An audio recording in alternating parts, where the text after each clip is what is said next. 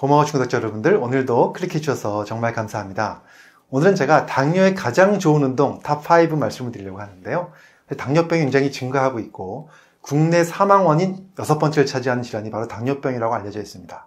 특히나 요즘에 코로나19 팬데믹 때문에 전 세계적으로 당뇨 환자가 16%나 증가했다는 얘기가 있습니다. 그런데 사실 당뇨 조절에 있어서 음식도 굉장히 중요하지만 운동을 함께 하는 것이 정말 중요하죠. 그래서 오늘은 제가 당뇨에 가장 좋은 운동 TOP5 말씀드리겠습니다. 오늘 영상 끝까지 봐주시고요. 도움이 되셨다면 좋아요, 구독, 알림 설정 해주시면 감사하겠습니다.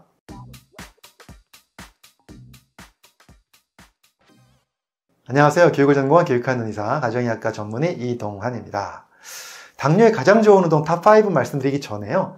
이것을 어떻게 선정됐는지 선정 방법을 좀 말씀을 드려보도록 하겠습니다. 일단 얼마 전에요. 헬스 조선에서 국내 17개 의과대학의 내분비내과 교수님들, 그러니까 즉 당뇨를 전문적으로 치료하시는 교수님들 23분을 어, 모아서 그분들께 설문을 했습니다. 어떻게 했냐면요. 운동 9가지를 보여드렸어요. 그리고 그 중에서 3가지를 선택하게 했습니다. 당뇨 조절에 제일 좋은 운동 3가지를 선택하게 했고요. 그것을 점수를 매겼습니다. 1등, 2등, 3등. 그래서 그것을 합계를 내서 어, TOP5를 선정했는데요. 그때 9가지 운동이 뭐였는지 먼저 설명을 드리면 첫 번째는 등산이었고요. 두 번째는 계단 오르기. 세 번째 맨손 체조. 네 번째가 수영이었고요. 다섯 번째가 천천히 걷기. 그 다음에 여섯 번째 빠르게 걷기였고요. 일곱 번째가 필라테스. 여덟 번째가 자전거 타기. 아홉 번째가 웨이트 운동, 근력 운동이었습니다. 자, 이 중에서 세 가지를 고르게 해서 합계를 내가지고 오늘 제가 TOP5를 말씀을 드릴 건데요.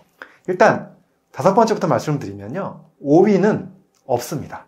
무슨 얘기냐면 공동 4위가 두 개인 거죠. 그래서 4위를 먼저 말씀을 드리면 첫 번째 4위 중에 첫 번째가 바로 수영이었고요. 두 번째가 천천히 걷는 운동이었습니다. 이 두 가지가 공동 4위를 차지했습니다. 자, 수영과 천천히 걷는 운동 굉장히 좋은 유산소 운동에 속하죠. 그걸 통해서 지방을 연소시키고 혈당을 떨어뜨릴 수 있기 때문에 4위로 선정이 된 것 같고요. 자, 그렇다면 3위는 무엇일까요? 3위는 바로 웨이트 운동이었습니다. 아령이나 뭐 덤벨 가지고 하는 근력 운동이죠. 이것이 왜 중요하냐면 근육을 증가시킬 수 있기 때문인데요. 근육이 증가가 되면 인슐린의 민감성이 증가합니다. 그러면서 혈당을 잘 떨어뜨리게 되고요. 특히나 어떤 연구가 있었냐면 당뇨 환자들한테서 코어 근육이 증가됐을 때 골절의 예방이 잘 된다고 알려져 있습니다. 그래서 굉장히 근육, 근력 운동이 중요하고요. 또 2021년 당뇨병 진료 지침에는 유산소 운동뿐만이 아니라 근력 운동을 함께 하는 것을 권장한다고 알려져 있습니다. 그래서 특별한 문제가 없는 한 일주일에 두 번 이상의 근력 운동을 권장하고 있습니다. 그래서 3위는 바로 웨이트 운동이 차지를 했고요. 자, 그렇다면 당뇨에 가장 좋은 운동 TOP 5 중에서 2위는 무엇일까요? 그것은 바로 자전거 타기였습니다. 이 자전거 타기는 굉장히 좋은 운동인데요. 왜냐하면 유산소 운동과 근육 운동을 아주 적절하게 섞여 있는 아주 좋은 운동입니다. 특히나 자전거를 타게 되면 하체 근육이 단련이 되죠. 우리 몸 전체 근육 중에서 70%가 하체에 있습니다. 그렇기 때문에 자전거 타기를 통해서 하체 근육이 단련되기 때문에 아주 좋은 운동이 될 수 있고요.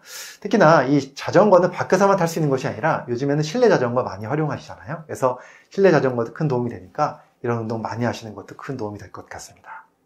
당뇨에 가장 좋은 운동 TOP5 중에서 대망의 1위는 무엇일까요? 그것은 바로 빠르게 걷기입니다.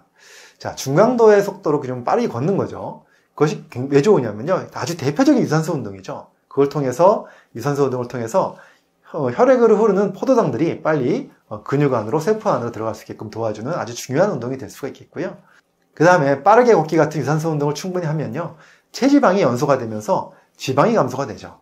자, 몸속에 지방이 감소가 되면 인슐린 민감도가 증가하면서 혈당 조절이 잘 될 수밖에 없죠. 그렇기 때문에 굉장히 중요한 운동입니다. 특히나 또 중요한 것은요. 심폐 기능을 증가시키는데 굉장히 도움이 됩니다. 자, 심폐 기능이 좋아지게 되면 혈관이 건강해지요. 그래서 이 당뇨병 때문에 생긴 여러 가지 혈관 문제들을 예방하는 데도 아주 큰 도움이 되기 때문에 1위가 바로 이러한 빠르게 걷기로 꼽힌 것 같습니다. 자, 오늘은 제가 당뇨에 가장 좋은 운동 TOP5 말씀드렸는데요. 어떻게 선정되는지가 아까 말씀드렸잖아요.